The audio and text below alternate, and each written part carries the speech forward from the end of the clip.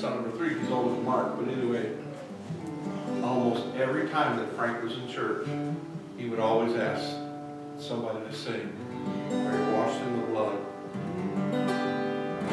It's the only way we'll make it, brother.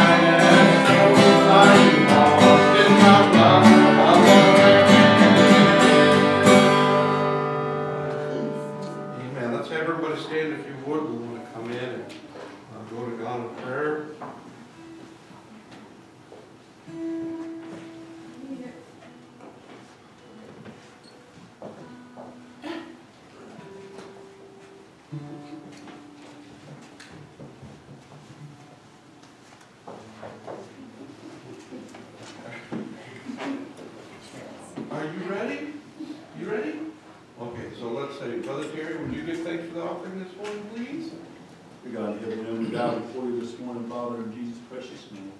Thank you for this new day of life and grace. That's your blessing on the service, bless the offering to the building thy kingdom. Between kindness, touch our hearts and minds in Jesus' precious name. Thank you, Lord. Amen. Amen. All right, so as he comes through, let's everybody come into fellowship. I'd like to say.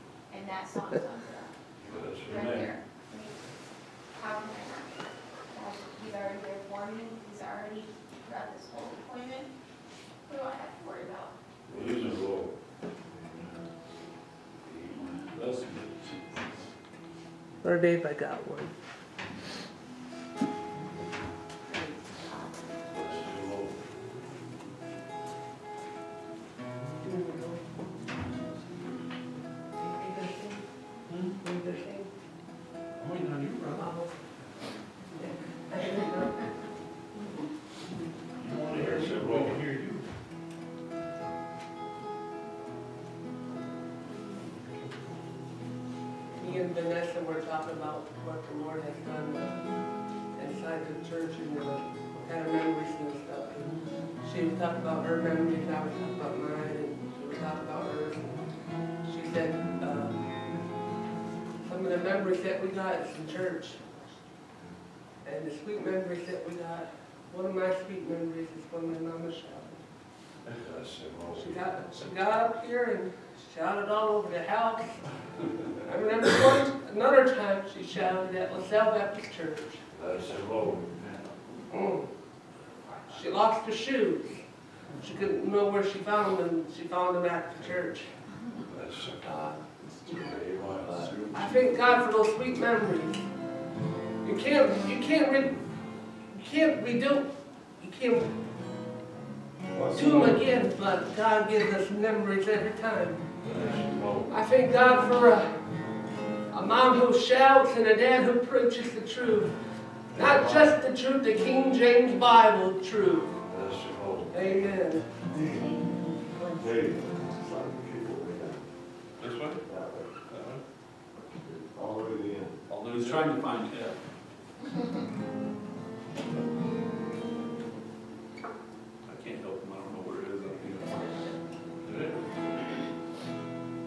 Satan whispers in my ear, why don't you just give up? The road is much too long, and the way is far too rough.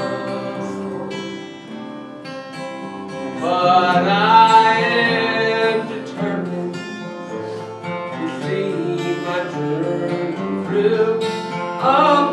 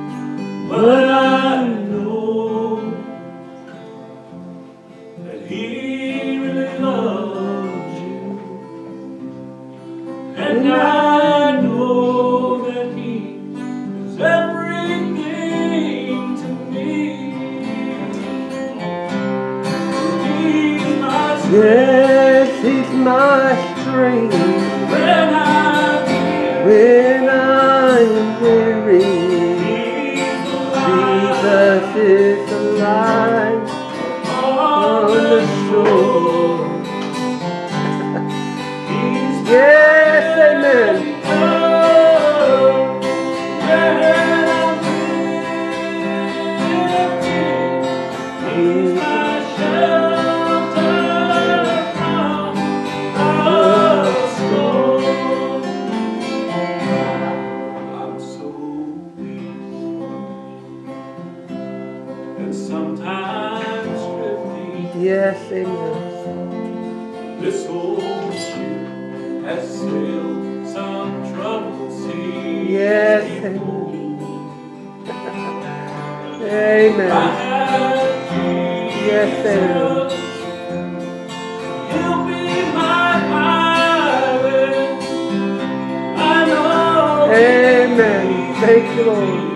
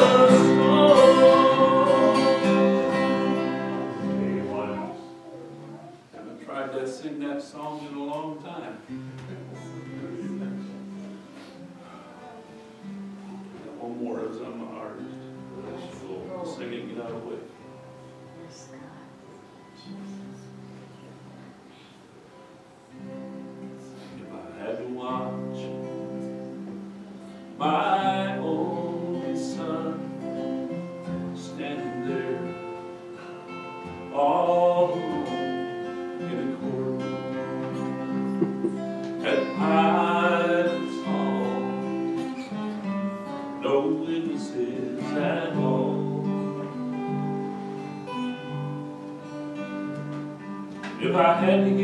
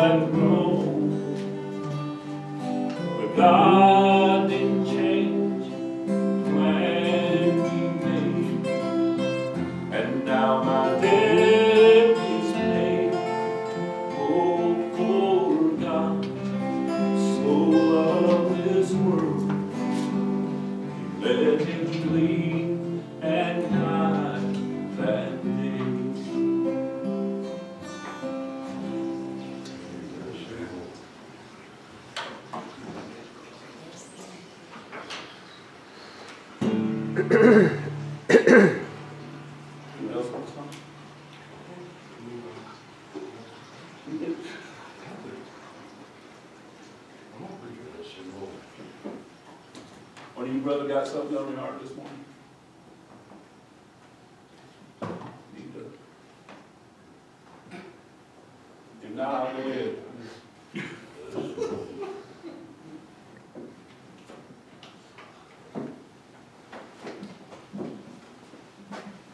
No volunteer before you get started, but it was good the other day to go to Steve's house. It was good for the church, to come into the church to go and pray with them. Well, I learned a lot that night, you know. Sometimes it doesn't take a whole bunch to preach the word, the, the God's word, the truth. He'll bring something into your heart, so I just thank God for the opportunity to go. Amen. Amen. I I believe that. Some religion wants to make a show of everything. Brother Johnson was teaching this morning in Sunday school. And it's that way, people want those photo ops. They want the ceremony, they want the, everybody getting dressed up for something, you know. But life isn't lived like that.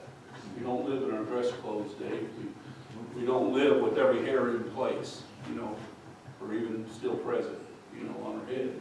But I mean, we, we live in the dirt and the dust of this world. Amen. In the world, but not of it. Amen.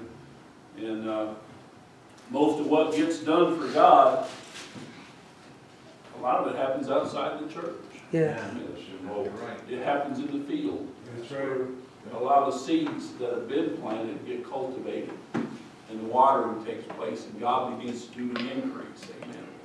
Uh, It's wonderful when we all get together and, and we get to see a harvest take place, or, or something come to fruition, but a lot of the work gets done behind the scenes, amen.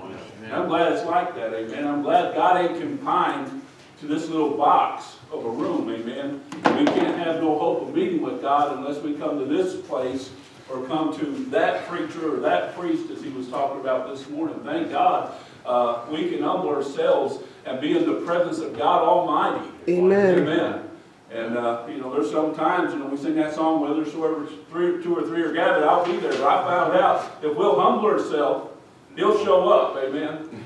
We start making much of him, he'll make, he'll make much of himself, amen.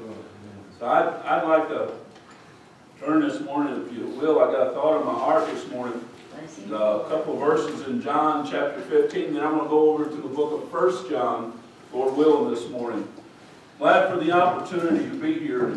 Glad for the Word of God, amen, that changes not, amen. Glad I don't have to go looking at a new version today to see what works for today. Uh, thank God it worked about 30-some years ago when I got saved, Brother Bless Gary. the It convicted my heart then, amen. And it, it, it stayed with me, brother. And I tell you what, I don't know about you, I don't want anything less. I Yes, don't want to amen. settle when it comes to the Word of God, amen. I want that which is blood-bought, that which has been uh, stood for, amen, Yes, amen. died for, Yes. bled over, amen, and believed upon, and people have lived their lives in fear and trust and, and in loving Thank Lord, you, and died with this word with a testimony on their lips, Well, and their loved good. ones looked at them and say, honestly, I'll see you in the morning. Amen. Amen. I'm so thankful today that I could have such a foundation this morning, Brother Phil, that it don't matter what this world does. They're off their rocker this morning. Thank God this thing ain't changing. I'm founded on a rock. Praise God this morning. Amen. What comes or what goes this morning, this thing ain't changing, and you can't improve upon it. Bless the I Lord. got the best thing this world's ever seen this morning. This is as close Yes, to the amen, face of glory. As I know today, amen, in this life. Amen. Thank you, Lord. Yeah. Amen. I've seen them people, sometimes they'll go and they're going to a book signing. Hey, I want to go to a book signing one day, amen. And I'm going to meet the author of this precious book. Well, glory. Amen. Yes. Amen. Before him, friend. Somewhere in heaven, God Almighty, whoo, He put my name up there, Brother Bill. and there ain't nothing in this world could get to it to get it out. Amen. Yes. Amen. Amen. Glory. Tell you what, that's some right. there, ain't it? Friend, there ain't another one like it. There may. Yes. Amen. I don't know how many Terry Bradens there are in the world, but there's a lot of them. I'm just telling you. But there's a distinction about this one. Yes, there is. God knows me by name, Yeah. but he knows me by heart. That's- He ain't made a mistake about it, amen. I Thank the gonna get there Lord. and Find out there's another Terry Braden sitting in my place, I guarantee you that. Amen. So thankful for this word. I'm glad. There's been times, it's been the best friend I've had, Brother Gary. When I couldn't explain to anybody else how I felt, even a- another preacher. You- You're just limited in what we can express, amen? Sure. And what we're willing to express. Yeah. But God knows it all. Yes, he does. He knows the thoughts, he knows the That's intents of our heart. John number two. He knows how to direct that scalpel. Yes, amen. I says it's sharper than any two-edged That's blade, right. amen? He knows exactly where that cancerous sin resides in my body. Yeah. God says I can get to it, and I can get it out. That's a surgeon, amen? Amen. Amen. Thank God I don't need a twelve-step program to get there, amen? Just took one step in his direction. If you found John fifteen, Lord willing, kind of spoke about it already, a couple of people have mentioned it this morning, but twelve and thirteen are the two verses I want to read this morning. John chapter fifteen, verse twelve and thirteen. This is my commandment, that you love one another as I have loved you. Greater love hath no man than this, that a man lay down his life for his friends. Let's bow our. Father, we thank you.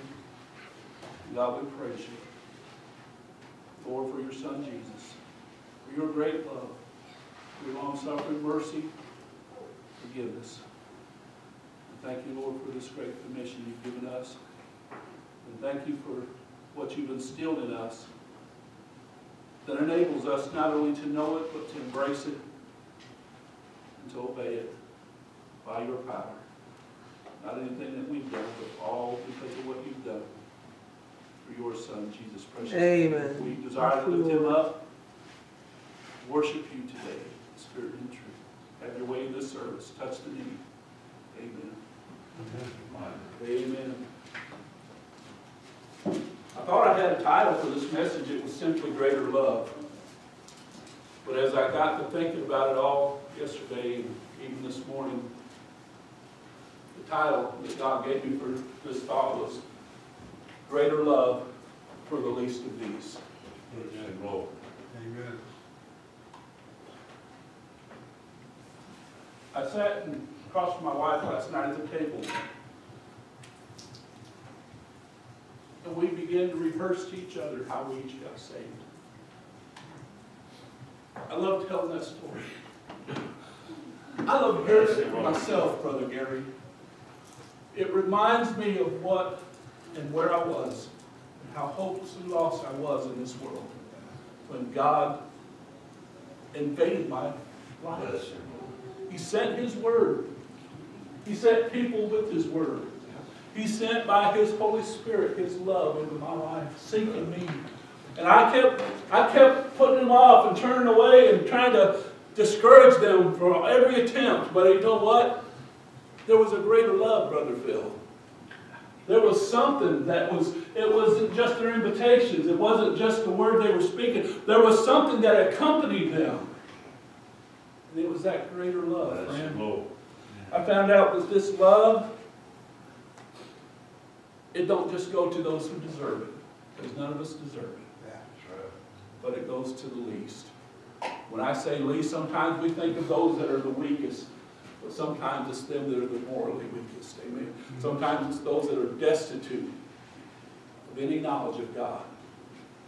And in that darkness, God sends that piercing light to get their attention. And if we'll do like Moses, Moses was in the wilderness.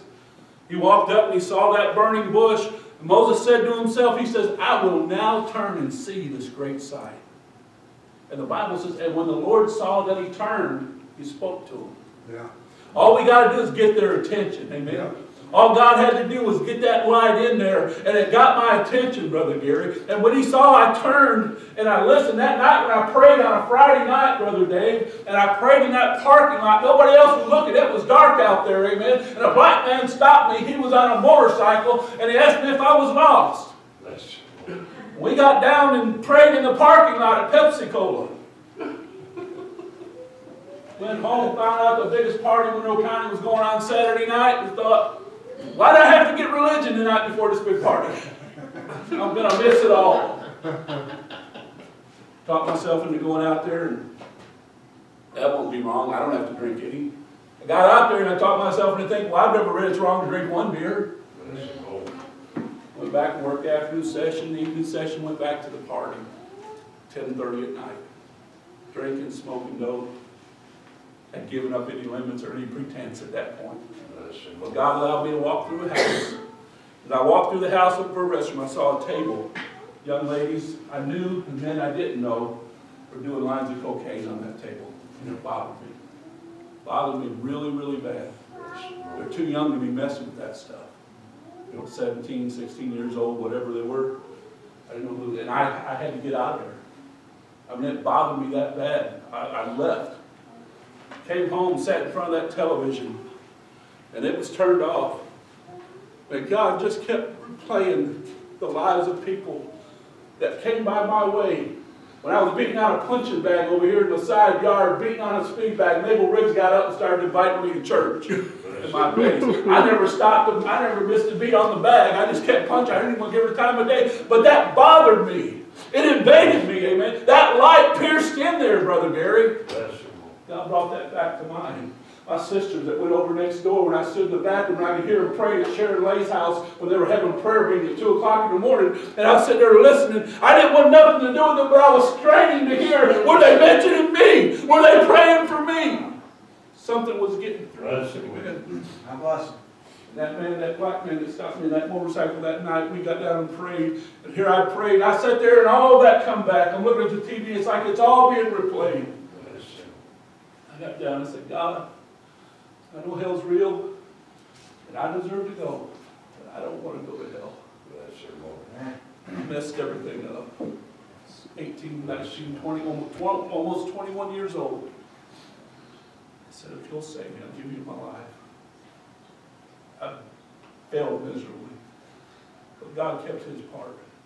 I put everything I knew about me on a platter that night. And I passed it over. I said, Lord, it's in your court. It's all yours. Whatever you want to do with it, it's yours. Bless you, Lord. Went to bed, got up, called the skating rink. I said, I won't be back to work. They said, why not? I said, I got saved. okay. they hung up. They didn't know what that meant. Pepsi called me Monday and laid me off. Two jobs. No jobs. Saved. Back found the Bible. Bless you, Lord. And started reading over in John. Came into his own, his own received it not. But many as received him, to them gave he the power to become the sons of God. Even to them which believe upon his name. Bless you, Lord. God tapped me on the shoulder and said, that's where you got in. Tell what, it took a greater love. It took a love out of this world. You see, this love was greater than my sin. This love was greater than my faults, my failures. Amen. This love was greater than my lack of knowledge. Amen. There's a lot of things that I was kind of fearful about. But thank God, this greater love doesn't quit. Amen. We all know the verse about charity, which talks about love. When you go through that, love is kind, love is faithful. Love, it says, or charity, never fails. Aren't you glad? That never fails. love? That's the kind of love we call on, Brother Gary. When we hold them up before the throne, say, God, your love can do this.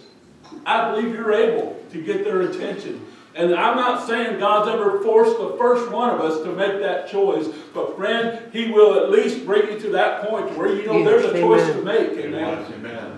And that's where we've got to get them to. Amen. That greater love will cause you to sacrifice.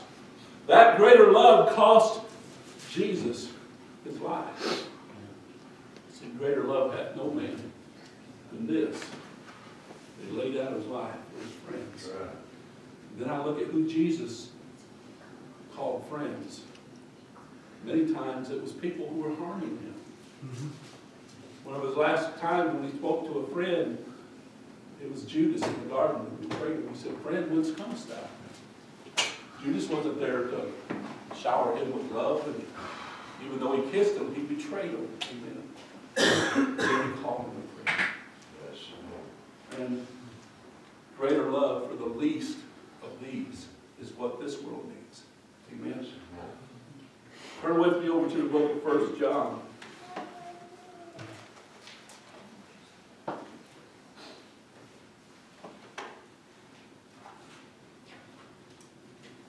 If you don't get mad at me, I wrote a couple notes somewhere. I just wanted to Bless you.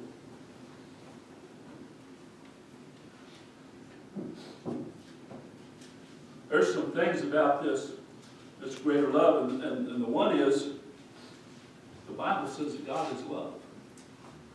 We know that the source is God himself. Amen. It's always good when you get from the source, ain't it? Amen. It's like that, that, that water, that spring water we talked about a couple of weeks ago, going up the hill and getting it from that bucket and stuff. Nothing tastes like that. They didn't have Aquafina back then, you know. When I went to that well, I mean, we did, bottled water was not really a big thing. But I can remember getting back, after walking back, and by the time I got back, I only had half a bucket full of water. he walked down them cattle trails and get back to where they sent, from they sent you, to get back and then take a, one of those, they have these big, Zippers. it was an aluminum cup. Looked like a measuring cup or something. But that's what they use for their water. Yeah. And they leave it hung- hanging on the bucket, you know, and we get that. And I thought, man, that water tastes better than any water I've ever had. Got from the source. Amen. And it's as good as I like being here and Brother Steve getting a blessing and the Lord getting all of and buddy, that's wonderful. I, I'm glad I get to see that. Amen. See the man get up and preach in power and Holy Ghost. I love to see Brother Joey get up there and just, man, that would wear me out just watching him. Amen. but you know what? As much as I love that Brother Joey, I love when God, it's between me and him. Amen.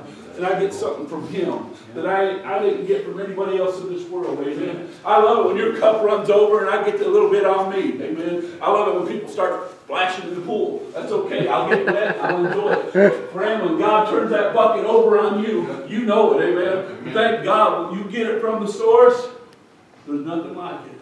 And nothing else to do, and nothing else will excite you. World wondering why we don't get excited about the ball games anymore, Brother Gary. Why we don't get up excited about all this and that? Because what is that? Everything in this world is going to pass away. We can't get excited about that. But friend, what I'm getting excited about today, and what I got excited about that night I got saved, is just going to get better and better and better. And it will be more and more and more as the days go on. Amen. Thank God. He's the source of it. He's the sustainer of it. Amen. Aren't you glad that He says Jesus Christ the same yesterday, today, and forever? You know why they want to change this book? They want to water it down. They want to bring us down to the level of the rest of these so we don't have a know-so salvation, but we got to hope so. Yep. We got to think so. We got to maybe so. John says these things are written that you may know that you have eternal life. I'm glad there's a know so in here. They can talk me out of a lot of things, and thank God there's times when God will show me things I thought, and I'm like, I was, I was off on that. But thank God I got the truth, They amen. But He don't have to change for it to be true, amen. He knew the end from the beginning. He speaketh of those things which are not as though they were, the Bible says, and God knows all about it. He never just had a thought occur to him. Did you know that? God never said, I never thought of that, Brother Joey. I'm going to write that down. Amen. He's got it all. He's the sustainer of it. But look at this love. It's, it's superior to what the world has. Amen. It's superior in its ability. Amen. If God be for us, who can be against us? That's right. Before we know.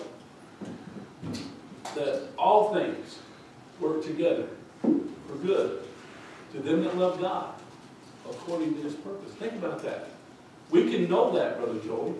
I can be in the middle of a situation and I can't really see any hope good coming out, but somewhere in me, I know this is a part of what God's going to use to work together with some other things to bring about greater praise and glory and honor to his name. Amen. And sometimes the Bible says it's through suffering that we're identified with Christ. In our suffering, we learn humility. Tribulation, work with patience. Patience, experience. And it says it makes us not ashamed. Amen? It brings us to a point. I don't choose suffering. I don't choose tribulation. I don't like pain. It hurts. But you know what? Jesus, look at what he endured. The Bible says he looked beyond the cross Yeah. What did he do? He saw us. He saw the joy of that day. He saw that one day, this no good, no count would bow before him. and Say, Lord, I don't want to go to hell. I'm trusting what you did to save me. And you know the joy you brought in my life, Brother Gary? Now multiply that to what times everybody in this room is accepting Jesus. Times everybody in this, on this day that are in this church that are worshiping Him, times everyone that's ever lived in this world that has come to know Him. What great joy, amen, He brought by His obedience to the Father, to the cross, His willingness to take that greater love and lay it down, amen. It's going to cost us something. Nothing else is going to do. Why do men get up and wear their bodies out preaching, Brother Steve? There's evangelists that are still in it for God, Brother Gary, believe it or not. There's a lot of them on TV that they found a niche and they're making money. But there's a lot of men of God and a lot of people that are out there serving God and they're spending their whole life wearing themselves out, applying every investment they got and getting this word further and further into the world so they can glorify Him. And they're laying their lives down. They're not laying up for the children's inheritance as far as financial things, but they're investing in the souls of men. And they're laying it down for their friends. They're looking at people who look at them and hate them and despise them. A preacher gets up here and preaches, and the sinner sits back with his arms crossed and gives him a dirty look like, who told you about that? Like the preacher had to have some kind of personal experience with that. God lets you know that there's sin in the camp. God lets you, because He loves you, gives you an insight as to what needs to be preached. God inspires that preacher to preach what He says so He can direct that word because He cares about that soul. That's the greater love. That love that says, I don't care what you think about me, but I got to tell you the truth. Amen. I don't care how you act toward me, I'm going to give you in love what God gave me. That's a greater love. That love that says, I know in your heart you're wishing I was dead right now. But I want you to live. In Jesus' name. That's the greater love. Amen. I'm glad that God, who lives in us, gives us that same love. And your family looks at you and says, why are you doing this? This is costing you way too much. And yet you look at it, Phil, and you say, you know what? I'd give this and a thousand more like it if I could see that soul saved. Amen. I'd, I'd give them every penny if that's what it took. But we can't buy little pennies, amen? It, it takes that that God provides is what God uses. In obedience to Him, God will use what God inspired, what is God breathed to bring about what only God can do. And that is the birth of the soul. I'm so thankful so thankful that this love is superior. This world, all that is in the world, the Bible says, the lust of the eye, the pride of life, the lust of the flesh, it's going to pass away.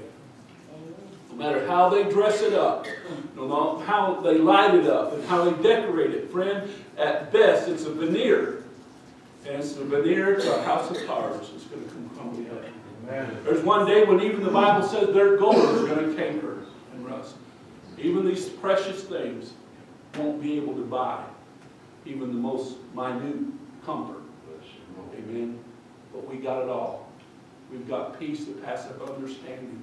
We've got love that's unfailing. Amen. We've got grace. Amen. We've got mercies that are new every morning. Amen. My wife just went to the other day and she bought these real nice bread rolls, you know. And she made a hamburger and said, well, just put it on that bread. I got that good bread. I go over and I start slicing. I look, I said, what is that? I knew what it was. It was mold.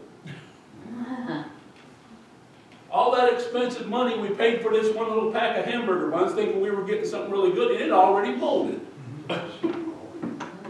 One of these days, the world's gonna find out all that they've invested in, all this fanciness, is nothing but disease, plague, when it comes to the riches that they need for their soul. He said the other day, what shall man give in exchange for his soul? This world and a thousand like it won't buy it. That's. How valuable it is. Bless you. His love is superior. Amen. That love says, I'll love you while others are looking.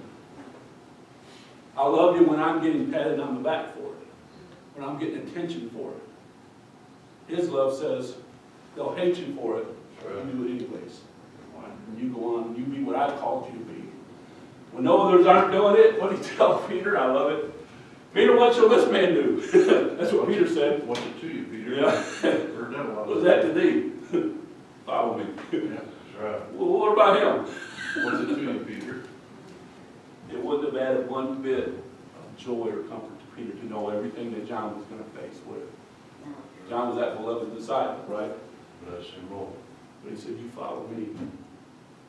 That's where your lane is.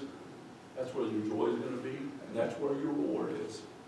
I can look over at the whole, the road that Brother Gary's holding, and say, his little road looks easier than mine. Did that when I was a kid. We'd have to go out and hoe corn. Mm-hmm. I'd look, I was the oldest of the six kids, probably four of us could handle the hoe. I tried to pick which one was the easiest. I'll take this road, you guys go do this one. I'd get done sooner. You can't do that, amen. You, may have a path Brother Phil, it's different than mine, but I'll never get the glory for him trying to do Phil's work. I gotta do what he called me to do. I'm thankful. This greater love hasn't lost one ounce of effect, its efficacy, its ability to cleanse, amen. His word still cleanses us daily. You know, the Bible says the word became flesh. The Bible also says God is love. When you go through and you read charity never faileth, sometimes I look at that and I thought, well, what if I were to put, charity means love, what if I were to put God in there? God never faileth. God is kind. God never did anything in the wrong spirit, did he? He's always done it for our betterment. Wow. Tell you what, I'll do it in the ability that God gives. Because He's the one that the Bible says gives us the desire and the ability to perform the work. It's just allowing that which He wants to do as a vessel to pour through us. You know, He pours it in, we pour it out. You, know, we get the benefit of having His presence and His, His love, but we also have the joy of being a part of what God wants to do. You know, who can beat that deal? Amen. Everybody sees, uh, it's like today, you know, people buy stock. They see a company doing good, they'll go out and buy a hundred stock, shares of that stock, they expect it to keep going to good. All my stock is in Him.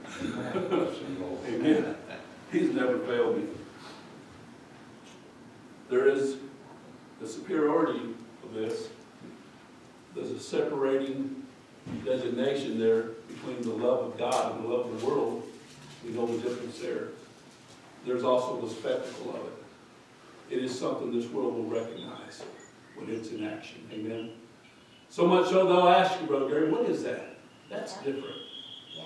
Why would you say that like that? Why would you be doing what you're doing when everyone else is doing that?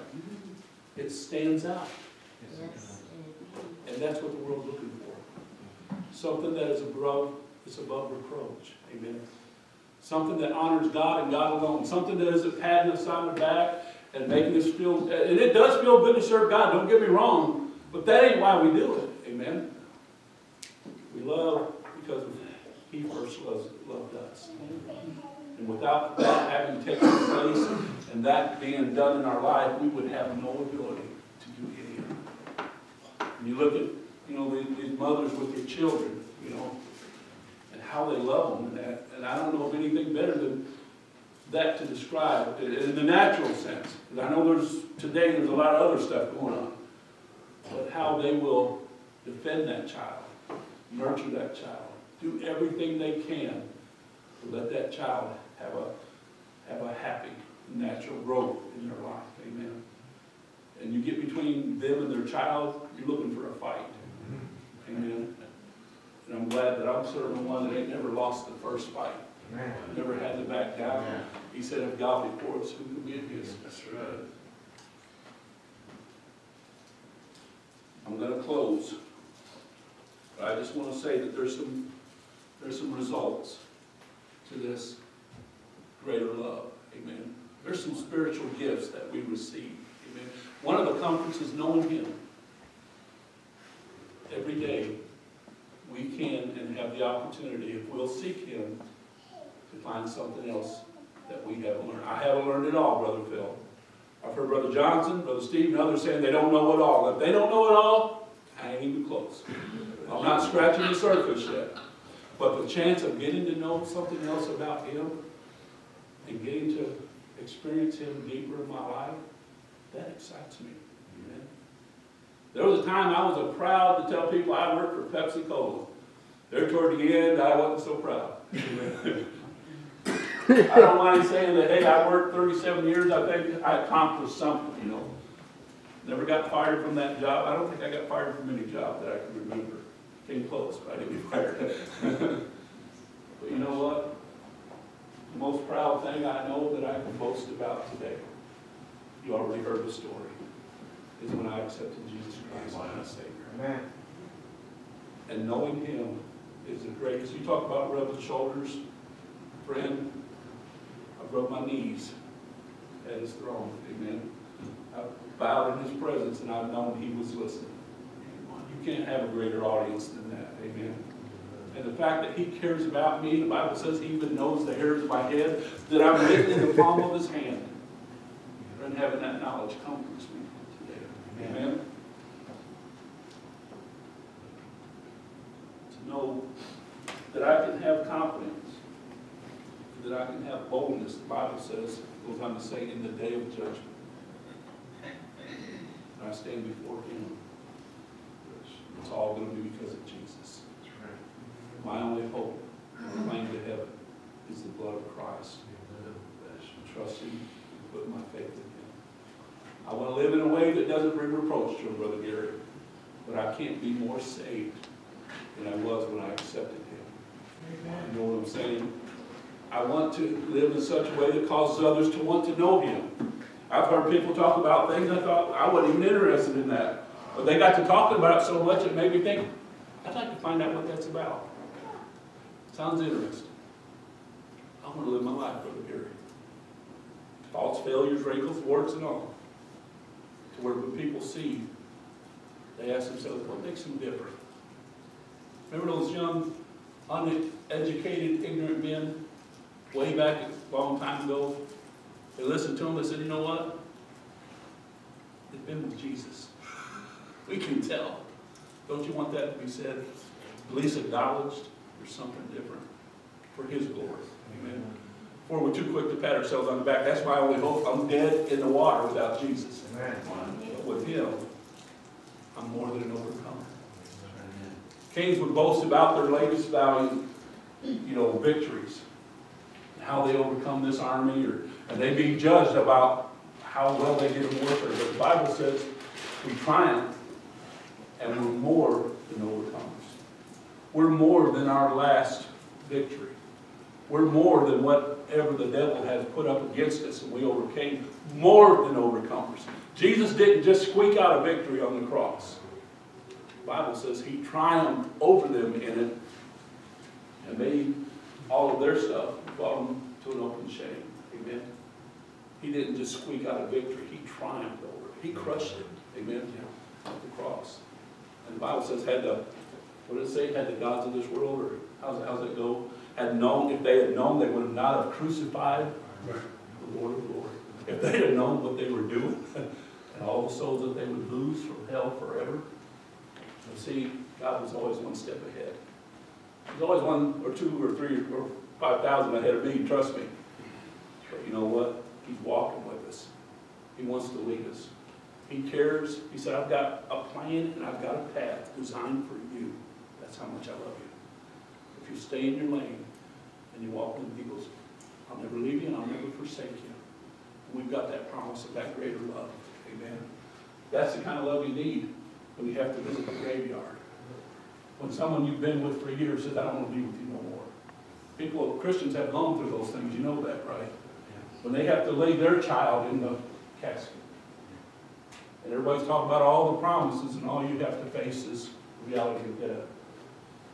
We know that we serve one that says, hey, I'm gonna wipe away all tears and believe that joy's coming in the morning. Amen. I'm done this, this morning. I appreciate your attention. I just had this thought, and. I thank God, and I pray and hope you know all about this greater love.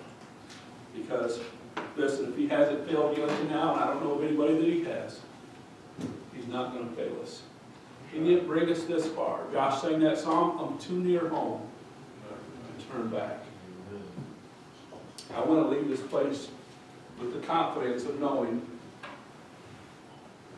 Paul said it best, I fought a good fight. I Kept the faith. I Finished my course. I didn't get that in order, but I want there to be an accomplishment for him. Amen, don't you? And maybe it's a preacher, maybe it's a singer, maybe it's a mother.